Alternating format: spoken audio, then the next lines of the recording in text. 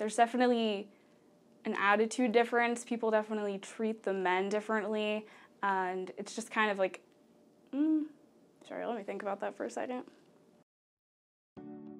I was 100% prepared for pain, like struggle, um, fun, you know, all of the stuff that I did get my freshman year. Um, what I think I was not quite prepared for or not quite expecting was this feeling of I would cry after every practice. like discardability. Be like, I can't do this.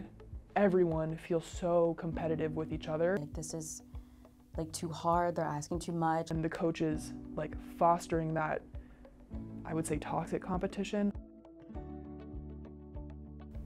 I think it's size and visibility that actually impacts how much the university cares about a team.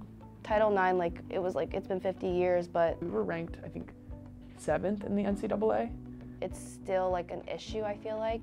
but who knows that unless you're on the team, right? The women absolutely are putting just as much time and effort in as the men. They highlight certain sports over others. I feel like because you see so much of the men's sports, like you see how hard they're working, and people are like, wow, like that's amazing, that's great. But to not see that for women, I feel like if you're not seeing it, you're not thinking about it. My freshman year, there was no like media for our team. The media was done by our assistant coach on her iPhone. The men are definitely taken more seriously.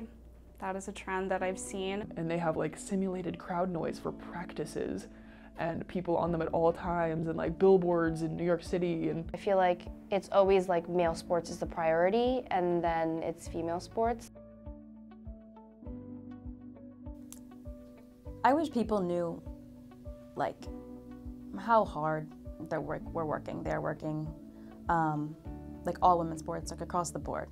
I hope that women in sports are able to, again, make their presence known Be the athlete that you are, and embrace that you're a female. And and really just show the world women are here. They're doing amazing things in sports and in general. so just keep your head high if you're a female athlete.